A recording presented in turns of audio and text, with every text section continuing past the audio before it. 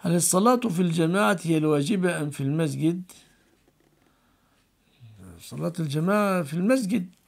النزاع قائم هل تجب أو لا تجب؟ لكن أراها واجبة في المسجد إلا لمن عنده عذر.